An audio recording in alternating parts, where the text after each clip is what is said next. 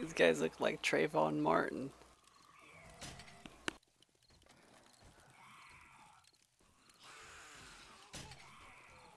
I suck so bad.